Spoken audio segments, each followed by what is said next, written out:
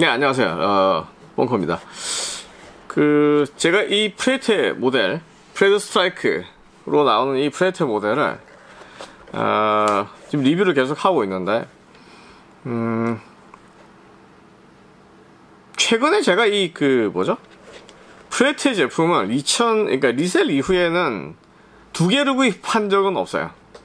그 전에 매니아는 열 몇 개를 구입을 하고, 펄스를 한 10개를 이렇게 가까이 구입을 했는데, 뭐 그때 이제 한참 축구에 미쳐있을 때여가지고 많이 샀던 경우를 제외하면, 리썰 이후로, 물론 리썰 두 개를 구입했어요. HG랑 그 다음에 뭐, 그때 AG 아마 이렇게 구입을 했던 것 같은데, 리썰 1, 리썰 2로 가면서 이제 그런 식으로 구입을 했는 제품들을 갖고 있어요. 갖고 있긴 한데, 그 이후에 이제, 어느 시점에서 프레데터가 단종이 되잖아요. 단종이 되고 나서, 그 다음에 뮤테이터라는 이름이었나요, 그때? 그 제품이 복귀가 되는데 그 이후로는 뮤테이트 이후에는 사실 뭐 프릭이다, 뭐 아이큐러시다, 에이치다 이런 구입을 안 했었어요. 물론 이제 가격이 더 떨어지고 나면 수집용으로 하나씩 사놓긴 할 텐데 출시 당시에는 뭐 워낙 비싸니까 살 엄두가 안 나서 너무 비싸서 주가들이.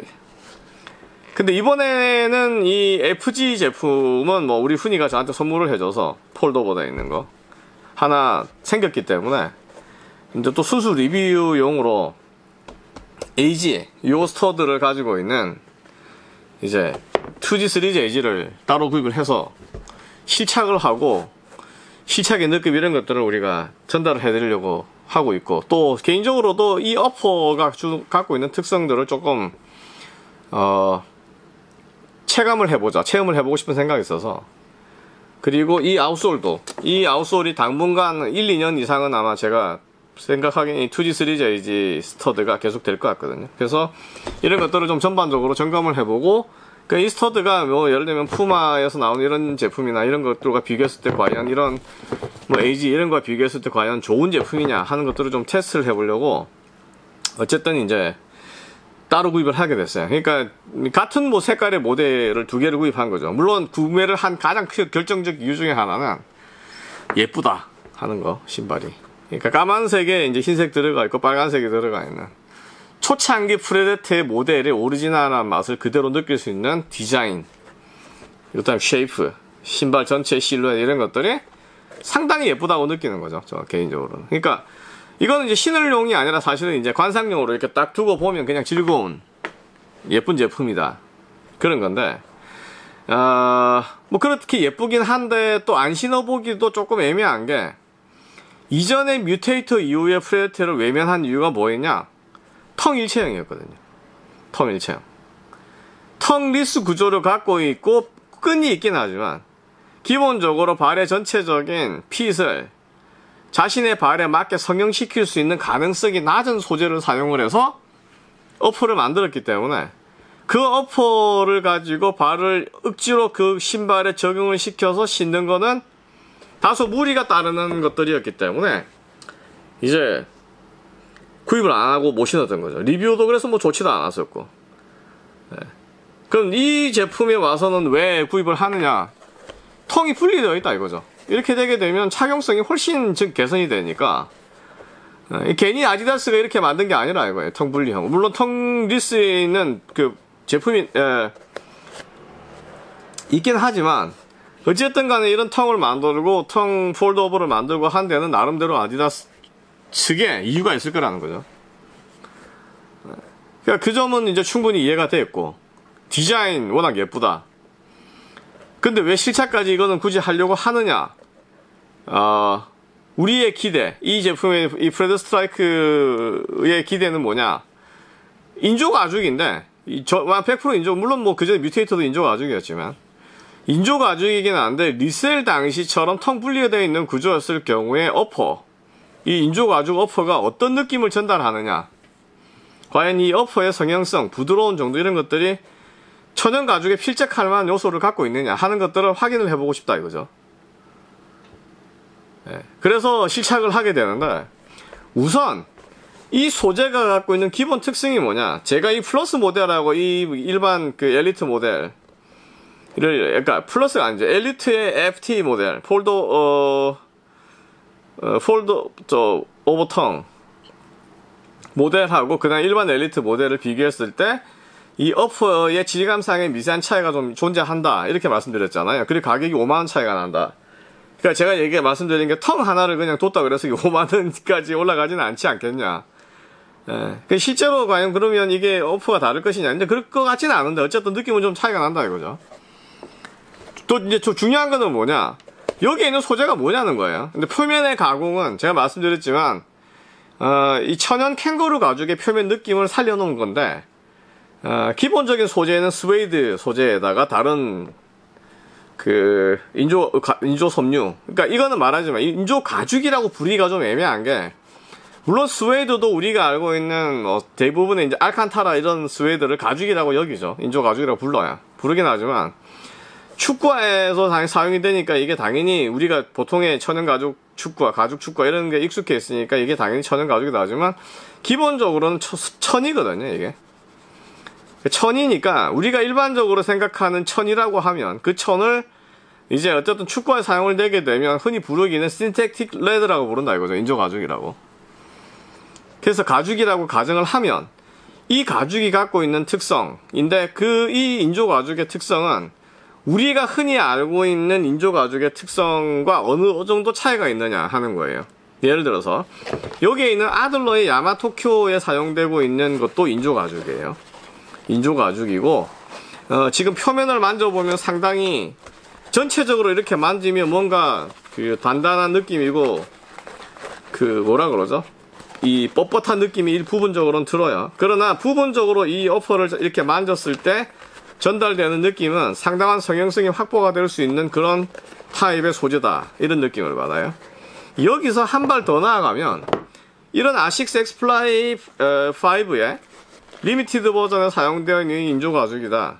그러면 인조 가죽의 표면 자체가 굉장히 부드럽고 이제 유연성이 높아요. 그래서 어, 물론 당연히 fold over 저, 어, 그러니까 tongue이 분리되어 있는 형태니까 굉장히 부드러운 형태의 착화감을 보여주기도 하고 실제로 신었을 때 천연 가죽처럼 성형성을 기대할 수 있는 신발 있고 또 한편으로 나이키 같은 브랜드에서 만드는 이 티엠포 10에 선보이는 이 인조 가죽만 하더라도 굉장히 그 패딩이 없는 상태에서 어퍼의 유연성이나 이런 것들이 잘 확보가 되는 그러니까 유연하면서도 슈즈 hold성이 어느 정도 확보가 되는 그런 소재로 괜찮고 뭐 최근에 푸마가 밀고 있는 킹의 지금 이 얼티메이트에 사용되는 소재 이 K 베터 뭐 이거는 전형적인 그냥 인조 가죽이에요 전형적인 인조 이게 이걸 딱 보면 어떤 느낌이냐면 그 마치 장판처럼 이렇게 그 뭐라 그러죠? 그런 걸 잘라낸 것처럼 그런 얇은 느낌의 소재인데 에, 막상 신으면 이제 미세한 스트레치성 같은 것들이 느껴지면서 발이 픽 되는 것들이 상당히 우수한 그런 소재다 이거죠. 그래서 이제 캥거루 가죽의 느낌이 물씬 풍기는 소재다 하고 우리가 이해가 되는데 어, 물론 이제 제가 신은 신고 느끼는 거를 말씀드리 어, 따로 드려야 되겠지만 영상으로. 우선 이 AG라든지 HG를 뭐 last 비교를 해보기 위해서 이제 신었을 때 느낌이 어떠냐? 어, 상당히 뻣뻣하다 하는 느낌이에요 upper가. 여기에 upper들이 리셀이라든지 이런 것들을 기대하는 시절 아니면 지금 경쟁 모델들 뭐 뉴발란스에 있는 이런 인조 부드러운 인조 이런 것들과 비교했을 경우에 상당히 뻣뻣하다 우선은. 뻣뻣한 거는 두 가지 한 가지 장점은 있어요. 슈즈의 장기적 hold성에서 확보가 상당히 쉬워진다 하는 점에서는 분명히 큰 장점이에요. 그리고 물의 영향을 많이 받지 않는다. 아, 그래서 이제 이 슈즈 물이 젖은 상태에서라도 슈즈의 전반적인 hold성이 상당 기간 이 형태로 잘 유지될 수 있는 큰 장점이 있다 하는 게 가장 큰 장점, 장점이 될 것이고 두 번째는 그럼 단점은 뭐냐? 역시 이제 성형성에 한계가 있다.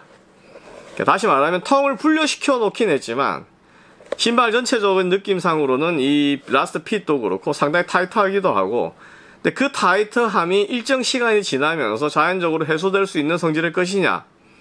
아니냐 하는 게 이제 관건인 거죠. 그래서 이제 그 점을 우리가 직접 어, 제 경우에는 확인을 해보기 위해서 AG 모델로 인조 구장에 좀 그 장시간 착용을 하면서 테스트를 해볼 수 있는 어, 제품을 그 테스트용으로 구입을 하게 되는 게 2G S3G AG가 되는 거야. 근데 지금 어쨌든 비상적인 느낌으로 어퍼의 전체의 반의 면적에 고무가 이렇게 도포되어 있으면 이 고무가 이렇게 넓게 도포되어 있는 면적에서는 성형을 기대할 수는 없어요. 왜냐하면 성형을 다 방해하는 형, 이, 장, 이 상태로는 요 고무가 이 형태를 그대로 유지하고 있어야 되는 신발이거든요. 그러니까 신발의 하프 면적 여기서 이렇게 절반을 쪼갰을 때 이쪽 면은 어쨌든 간에 신발의 성형을 기대할 수 없다는 거죠. 문제는 신발의 성형에서 제일 중요한 부분 중에 하나가 역시 이 부분이기도 하니까 안쪽 접촉이 제일 많은 부분. 과연 이 제품을 신었을 때 장시간 착용을 했을 경우에도 우리가 원하는 다시 말하면 천연 가죽에 준하는 그러한 핏감을 확보할 수 있느냐 하는 점이에요. 그건 인조 가죽이라는 여러 가지 형태의 가죽들, 뭐 나이키에 사용, 뭐 TM4에 사용됐던 아니면 베이퍼에 사용됐던 G 팬텀에 사용됐던 아니면 뭐 아디다스의 XS 이런 데 사용되었던 이런 여러 가지에서 인조 가죽이 갖고 있는 숙명은 바로 그런 점이라 이거죠. 왜 인조 가죽과 천연 가죽이 끊임없이 비교가 되느냐? 그건 인조 가죽이 천연 가죽이 갖고 있는 질감상의 핏감을 만들어주지 못하기 때문에 그래요.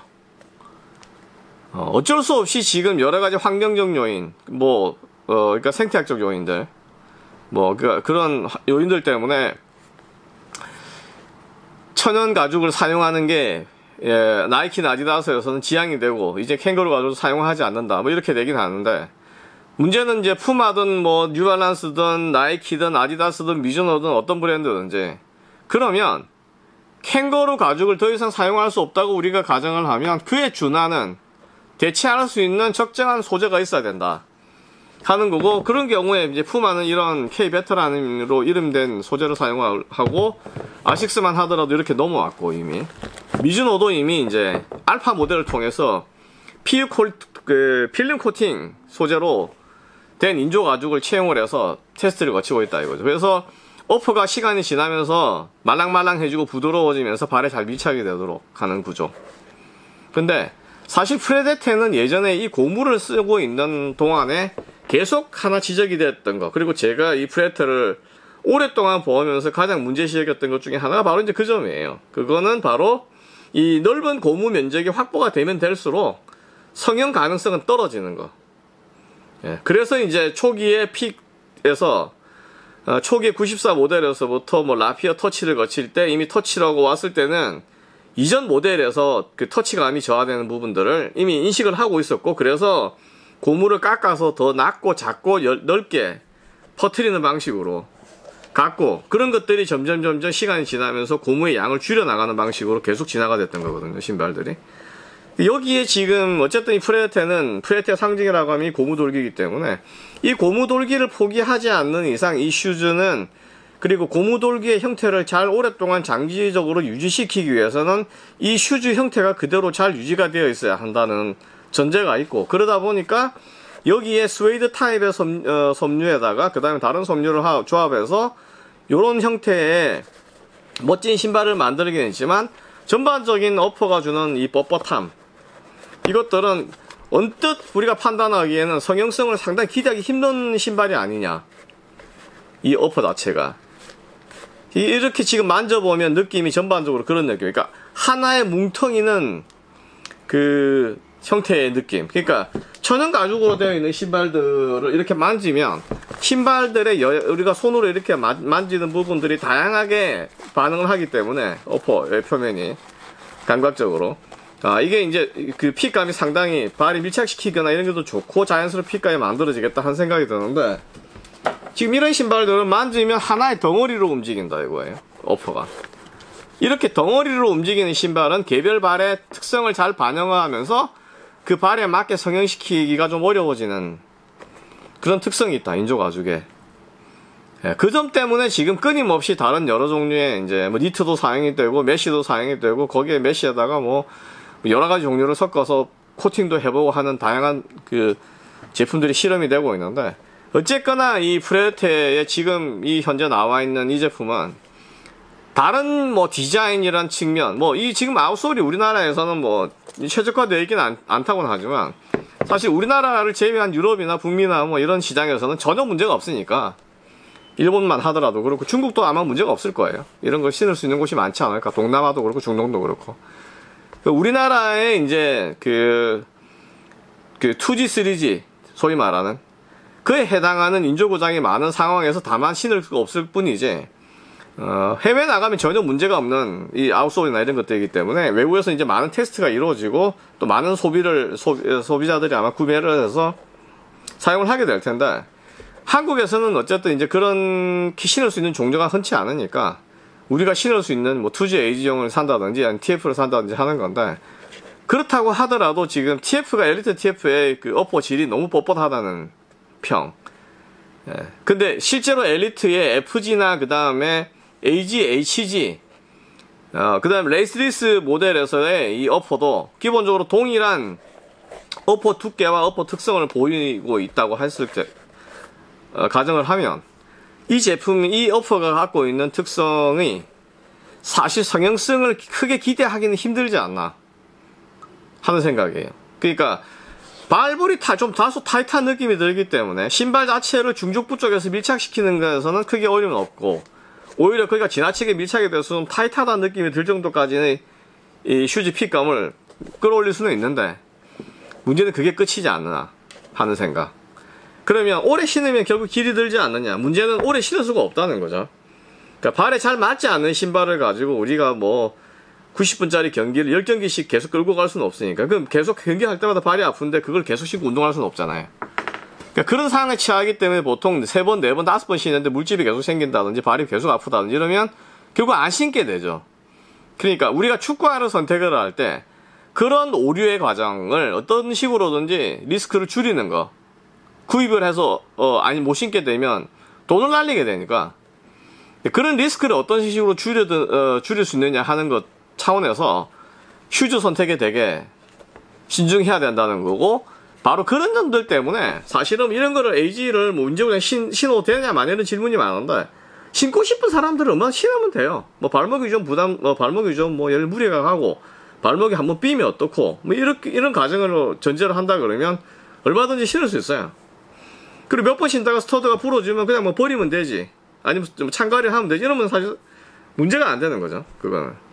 아마추어들 대부분 이제 그 돈을 축구를 많이 하는 것도 아니고 일주일에 자기가 두세 번 하는 건데 많이 해봐야 그런 범위 내에서 신는 신발을 우리가 구입을 했는데 그게 만약에 조금 신다가 못 신게 된다라든지 20만원 30만원 가까이 돈을 들여서 사는데 그럴 경우에는 돈을 낭비하기도 하고 내 건강에도 안 좋고 그런 리스크를 줄여보자 이거죠. 그래서 뭐 제가 이제 주로 선호하는 것들이 그런 리스크를 줄일 수 있는 신발의 형태와 구조가 어떤 거고 소재가 어떤 거냐 이런 것들을 자주 말씀드리는 건데 어쨌든 그런 측면에서 보면 아, 이 프레테는 다 충족시키지는 않지만 최소한 슈즈의 upper의 last라든지 그 다음에 outsole도 지금 여러 개 나와주기 때문에 어쨌든 간에 국내에 적용해 볼 수 있는 가능성도 있고 그 다음에 어, 슈, 즈에 이제 이 tongue이 분리되어 있기 때문에 신을 수 있는 범용성도 좀 예전보다 확보가 되어 있고 그러면서 hold성을 높여놓은 구조를 갖고 있기 때문에 어떤 사람인 경우에는 이 슈즈의 last가 너무 타이트할 수도 있고 어떤 사람인 경우에는 이 슈즈가 딱 맞을 수도 있는데 어느 정도 적응 기간을 거치고 어느 정도 사용을 하게 되면 이 upper가 부드러워지는지 또 이 upper가 정말 신을 만한 제품인지 그 다음에 또 어차피 이 이러한 형태의 아디다스 2G, 3G를 우리가 신을 수밖에 없다고 하면 이 stud는 과연 다른 국내에 이미 출시돼서 우리가 구입 가능한 제품, AG 제품들과 비교했을 때 stud 그립상에 압도적 우위가 있는지 그런 것들을 조금 더 면밀하게 우리가 살펴볼 필요는 있다. 그런 생각이 듭니다. 그래서 어, 지금 이제 이 AG 뭐 HG를 제가 또 따로 신고 뭐 한번 보여드리긴 하겠지만 내 느낌이 어떤지 전달해드리긴 하겠지만 어쨌든 이 upper 자체가 그렇게 만만한 upper는 아니다 하는 점 tongue이 분리되어 있어서 발이 쑥 들어간다 그래서 이 제품이 굉장히 신기, 착용이 편한 신발은 아니다. 그래서 어, 매장에서 신어보시거나 하셨을 때 그러한 판단, 이 제품 자체, 이 어퍼가 갖고 있는 특성이 과연 높은 성향성을 기록하면서 내 발, 내 족청에 잘 핏이 되는지 안 되는지 이런 것들에 대한 것들은 조금 체크를 해보시라. 반드시. 예, 그 점을 말씀드리고 싶어요.